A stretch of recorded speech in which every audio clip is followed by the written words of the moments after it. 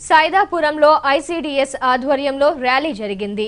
జాతీయ బాలికా దినోత్సవాన్ని పురస్కరించుకుని నిర్వహించిన ర్యాలీలో పలువురు పాల్గొని మాట్లాడారు. జాతీయ బాలికా దినోత్సవం సందర్భంగా సైదాపురంలో ఐసీడీఎస్ ఆధ్వర్యంలో ర్యాలీ జరిగింది. ఈ సందర్భంగా సెక్టార్ సూపర్వైజర్ మేరీ మాట్లాడుతూ ఋతుక్రమం వచ్చినప్పుడు తీసుకోవాల్సిన జాగ్రత్తలను వివరించారు. విద్య ఉద్యోగం వంటివి ఎంతో అవసరమని ఆమె పేర్కొన్నారు. ఈ కార్యక్రమంలో సూపర్వైజర్ హైమావతి అంగన్వాడీ కార్యకర్తలు లక్ష్మి నవనీతమ్మ రమాదేవి రమణమ్మ మొదలగువారు పాల్గొన్నారు.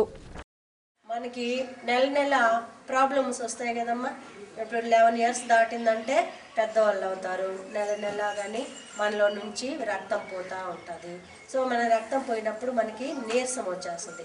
చదువులో పడిపోతారు. టయానికి ఆహారము తినరు. మనలో మనకే మనకి తెలియకుండా రక్తహీనత అనేది వచ్చేస్తుంది. రక్తహీనత కనుక్కోవాలంటే నీరసము నిద్ర వస్తుంటుంది. కళ్ళు తేలగా ఉంటాయి. కన్ను ఇలా అంటే తెల్లగా ఉంటుంది. కానీ ఎర్రగా కనిపిస్తే కంటి లోపల చాలా బ్లడ్ బాగా ఉన్నట్టుగా మనము అంచనా వేసుకోవచ్చు.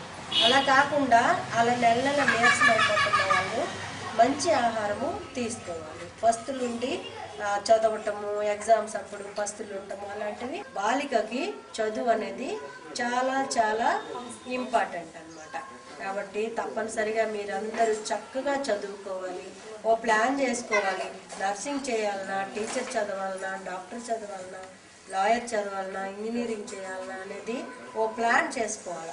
మీకు చదువులో ఉండే సబ్జెక్ట్ మీద ఉండే ఇంట్రెస్ట్ని బట్టి ఒక మంచి ప్లాన్ చేసుకొని దాన్ని గోల్గా పెట్టుకొని ఆ గోల్ని రీచ్ అయ్యేదానికి ఆ- దాన్ని చేసేదానికి మీరు కష్టపడి చదువుకోవాలి. అనేటివి చూస్తున్నారు కదా టీవీలో చూస్తున్నారు కదమ్మా? కిడ్నాప్స్ అనేటివి చాలా చాలా జరుగుతున్నాయి. ఆ విషయంలో మీరు చాలా జాగ్రత్తగా ఉండాలి. ఎవరైనా కొత్త వ్యక్తులు వచ్చినప్పుడు మీ దగ్గరికి మీకు చాక్లెట్ రబ్బర్ బ్యాండ్ గాజులు లిప్స్టిక్ తర్వాత ఫేస్కి సంబంధించిన బ్యూటీ వస్తువులు ఇస్తూ ఉంటారు. ఆడపిల్లలకి.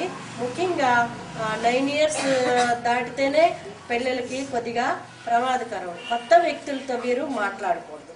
కొత్త వ్యక్తులు మీ ఏరియాకి వచ్చినప్పుడు వాళ్ళు ఏమి ఇచ్చినా మీరు తీసుకోకూడదు.